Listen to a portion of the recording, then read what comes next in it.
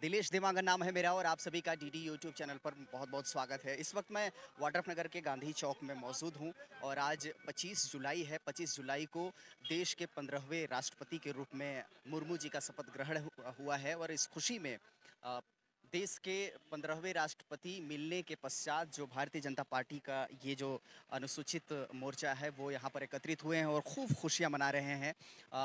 चूँकि पहली बार ऐसा हुआ है आज तक के इतिहास में, भारत के इतिहास में आज़ादी के बाद कि आदिवासी महिला को पहली बार आदिवासी वर्ग से राष्ट्रपति बनाया गया है, राष्ट्रपति चुनी गई हैं। तो आइए बहुत सारी खुशियों के साथ यहाँ पर कार्यकर्ता मौजूद हैं। उनसे इस उल्लास भरे वक्त को कैसे एक्सप्लेन करते हैं, कैसे बयां करते हैं, आइए जानते हैं। सबसे पहले स्वागत है और अपना परिचय दीजिएगा और आज की खुशियों को कैसे व्यक्त करना चाहेंगे आप? मैं राजू सिंह के अनुसूचित जनजाति मोर्चा से हूँ और आज पूरा आदिवासी वर्ग को बेहद ही खुशी हो रहा है कि आदिवासी वर्ग से देश का गौरवशाली गौरव पद पर जो राष्ट्रपति हैं उसमें महामहिम के राष्ट्रपति के तौर पर चुनी गई हैं मैं उनका स्वागत करता हूँ, अभिनंदन करता हूँ। इस अवसर पर हम सभी आदिवासी वर्ग आज मंडल वाड्रफ नगर में ये स्वागत समारोह के उपलक्ष्य में यहाँ पर हम लोग कार्यक्रम आयोजित किए हैं। राजू जी, मैं थोड़ा सा ये भी जानना चाहता हूँ आपसे, चूँकि जैसे कि आपने कहा और हम सब जानते हैं कि पंद्रहवें राष्ट्रपति के तौर पर अनुसूचित मोर्चा के पहली बार जैसे कि द्रौपदी मुर्मू जी राष्ट्रपति बनी हुई हैं। आपके वर्ग में किस तरह के खुशियों के साथ साथ भविष्य में क्या अपेक्षाएँ हैं और भविष्य को किस नज़र से देखते हैं? आने वाले पाँच सालों को कैसे देखते हैं आप? बेहद ही खुशी का अवसर है। निश्चित रूप से आदिवासी वर्ग से राष्ट्रपति बनी है तो निश्चित रूप से आदिवासी वर्ग के हितों में देश के आदिवासी वर्ग के लिए काम करेगी, ऐसा मेरा पूर्ण विश्वास है। थोड़ा सा और भी काफ़ी लोग तो हैं ही लेकिन अगर महिला राष्ट्रपति बनी है तो महिलाओं की अगर प्रतिक्रिया ना जाने तो फिर क्या मतलब?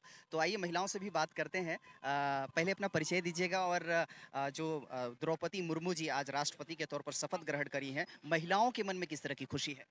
आज हम सभी महिलाओं के लिए बहुत ही गर्व की बात है कि भारत के प्रधानमंत्री के एक निर, निर्वाचित की हुई उनकी चुन चूज़ की हुई आज महिला हमारे देश की राष्ट्रपति बनी है। महामहिम से हम अपेक्षा करते हैं कि हमारे जितने भी अभी आदिवासी भाई बहन हैं, जो एक मन में कुछ कुंठा लेकर चलते हैं, वो सभी कुंठाओं को दूर करेंगी। ऐसा मेरा मानना है कि कोई वर्ग ऐसा नहीं सोचेगा कि हम आदिवासी नहीं हैं या हम जनरल नहीं हैं। सबों को एक सामान्य भाव से देखने का वो प्रयास करेंगे, ऐसा हम उम्मीद करते हैं। और महिलाओं के लिए तो बहुत ही गौरव की बात है। आज महिलाएँ एक बड़ी बड़े ही विकराल रूप से मतलब दौर पे गुजर रही हैं। हम महिलाओं के लिए वो बहुत अच्छा काम करेंगी और देश के हित का काम करेंगी। जो महिलाएँ आगे बढ़ रही हैं उनके लिए भी उनका संरक्षण के लिए वो बहुत काम करने प्रतिक्रिया क्या है? ग्रामीण अंचल से ताल्लुकात है सरपंच हैं आप।